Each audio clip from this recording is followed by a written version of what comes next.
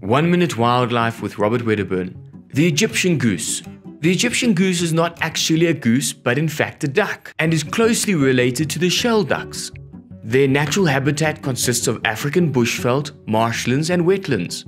Males and females are sexually dimorphic. Males tend to be slightly larger than females and have slightly brighter colors.